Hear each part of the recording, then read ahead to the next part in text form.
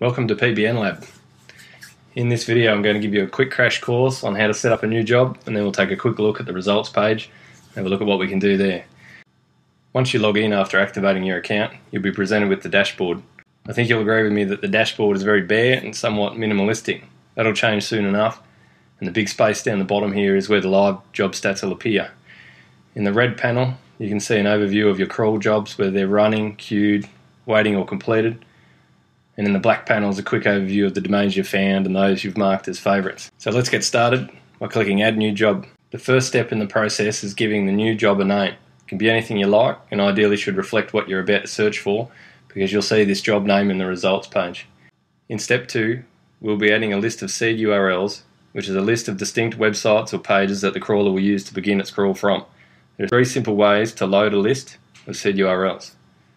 The first and easiest is by using keyword search, which utilises current data from the Google index, and we source and pay for this data legitimately using Google's custom search engine API. The second option allows you to manually enter or paste seed URLs, one URL per line.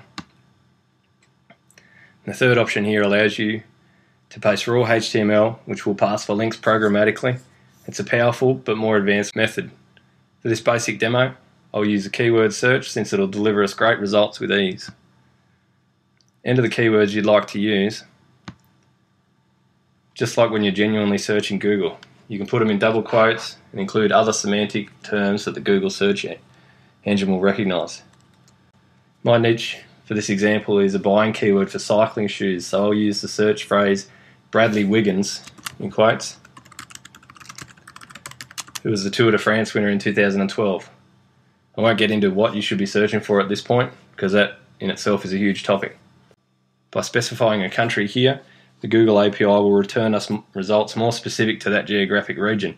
But keep in mind, it doesn't necessarily mean they'll necessarily be sites from that region. We'll leave this as at the default of USA. By specifying a year, the Google API will return top results beginning from that year. While it doesn't always vary the results greatly, it does at times help yield different results and I'll set this to 2012. After the web service pulls back data from Google, we'll get to see the list of seed URLs. So looking at the preview of seed URLs here, we can actually click out and preview some of those links. But take my word for it when I say that it's not worth your time. So just click finish and add the job to the queue. If we head back to the dashboard now, we'll see the live status of the current job. There's a lot of data here to look at as the crawler goes through the various stages of the process. Initially, we'll see the stats of the crawl itself, the main points of interest here being the total number of URLs that have been indexed so far, the crawl rate in URLs per minute, and how much time is remaining. After the crawl completes, very quickly it'll establish a distinct list of domains from the broken URLs, then look them up and verify their availability. And of course, the most important part, fetching metrics for the available domains and returning all the crucial data back here so you can review the results. There's nothing you actually need to do, it's just showing you what it's up to. I'll pause the recording now for the next few minutes and then we'll take a look at the job results view and how we can use it to quickly review the domains we found in the crawl.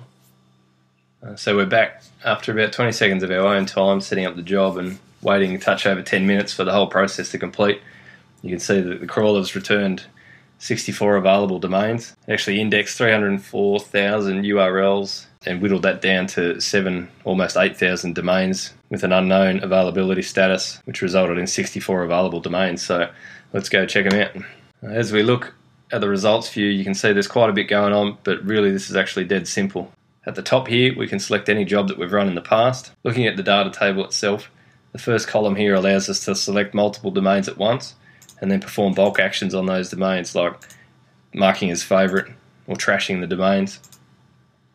The second column here allows you to mark a domain, mark or unmark a domain as a favorite with a single click,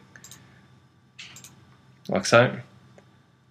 And then of course in the third column here we can see the domain name itself. And then we see the Majestic Trust flow and citation flow values, then the Moz domain authority and page authority we can sort any of these columns simply by clicking the header, sorting by domain name in alphabetical order. by trust flow in descending order, citation flow, etc. And if we click on any row in the table, it'll expand out and we can see the majestic backlink data and also the all important trust flow topics. We can also see the Moz rank, uh, the links that Moz have indexed for the domain. And here we can see the URL that we found in the crawl, which we used to discover the expired domain and also the page we were crawling.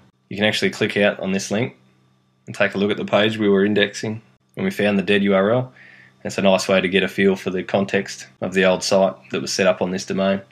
Under the action button here, we have deep links into Moz, Ahrefs, and Majestic. So in a single click, I can check out what other data those guys have got about this domain.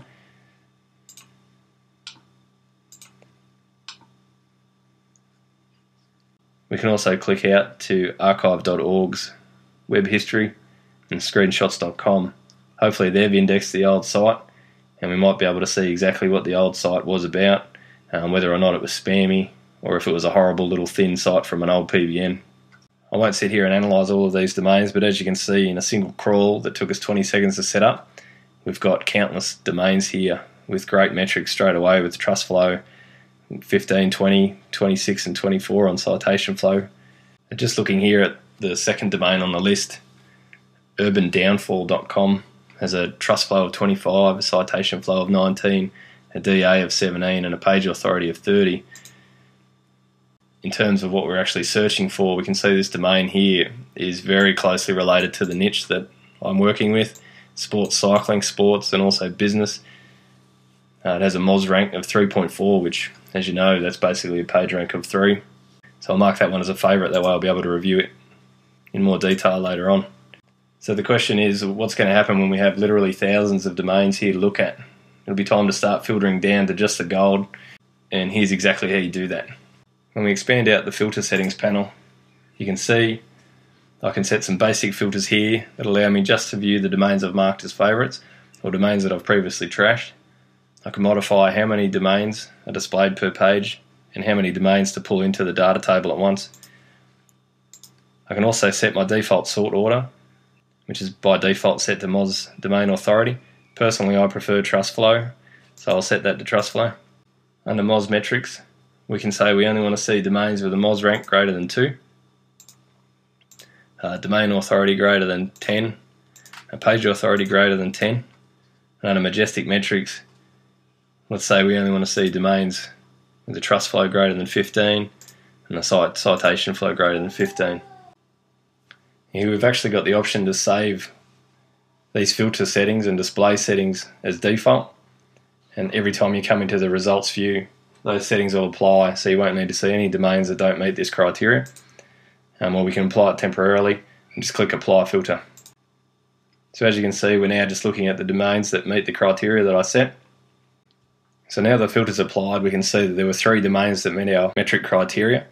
To take a closer look at those, these domains straight from the offset look perfect. Recreation, outdoors, sports, sports cycling, and recreation and travel or health. Good trust flow and citation flow. Pretty decent domain authority and page authority. Mark that one as a favourite.